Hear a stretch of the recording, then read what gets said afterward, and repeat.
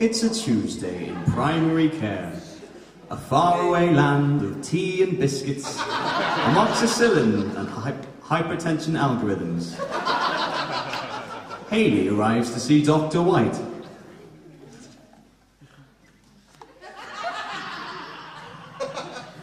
Come in.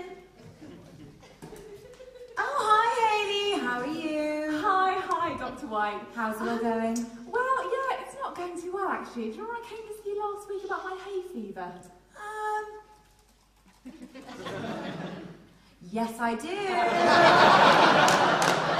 where are we at the moment? It's not good, Dr. White, at all. It's awful. I'm sneezing all the time. Oh. My eyes are watering. My Oh, hey. nose is running. I'm getting Oh. mascara everywhere. Oh. On my pillows, on my fitted sheets, my bolster cushion. Poor thing. It's just awful. Oh, gosh, now. Like you're having a hard time. So, what have we tried so far? We've tried the chlorphenamine. How did you get on with that? Oh, no good.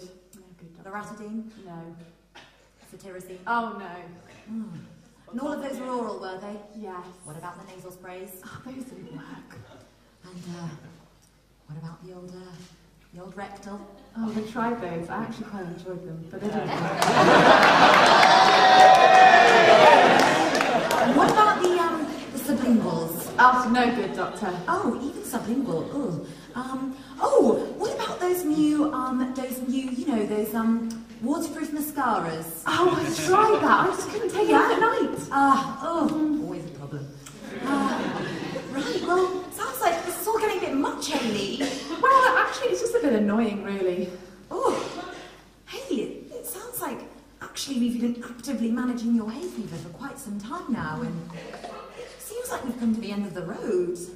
Oh, oh. There's no magical cure for hay fever, I'm afraid, and um, I think all of these treatments are probably doing you more harm than good. Well, actually, the nasal sprays are quite good. The nasal spray's no use to you, Haley. Now listen to me. I think it's time that we withdraw from active treatment.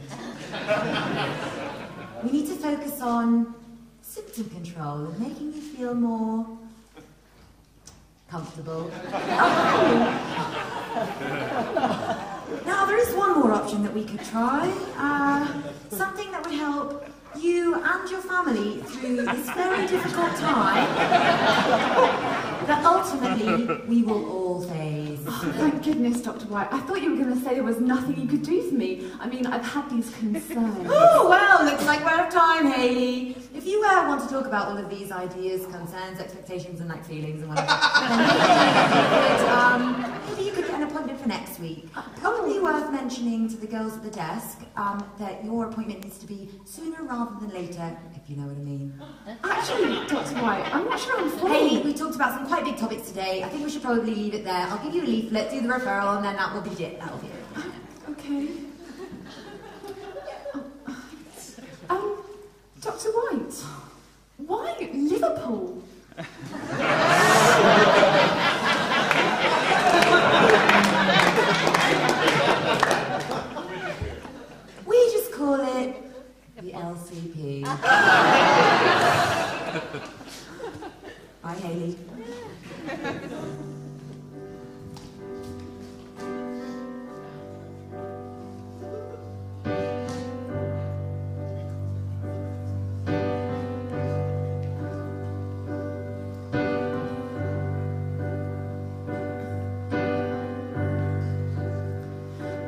Cause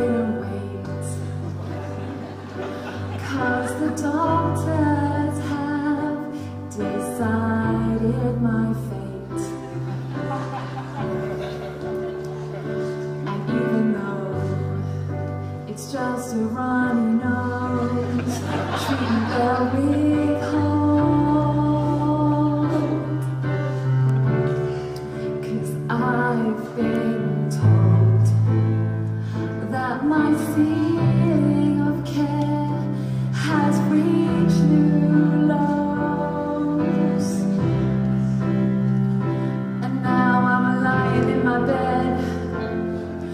about my future ahead. I don't think I should be dead.